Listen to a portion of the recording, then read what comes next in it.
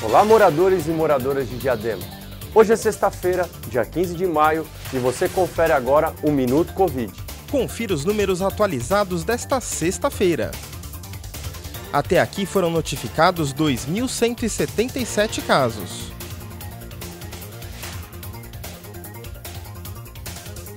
...483 casos foram confirmados e 709 foram descartados.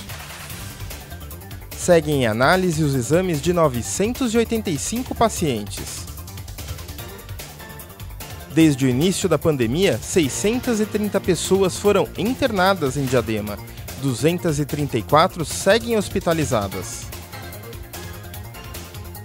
Seguimos acompanhando todos os óbitos ocorridos no município. Até aqui, foram confirmados os óbitos de 58 pessoas com causa de coronavírus. 49 foram descartados e 16 seguem em investigação. Se tiver que sair de casa, use a máscara. Na noite de ontem, o Exército Brasileiro novamente esteve em nossa cidade realizando a desinfecção das áreas de grande circulação de pessoas.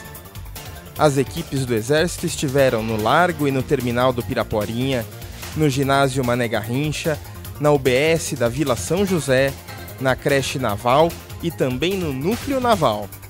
Eu quero agradecer muito a toda a equipe do Exército e de funcionários da Prefeitura que têm acompanhado diariamente essas ações muito importantes em nossa cidade.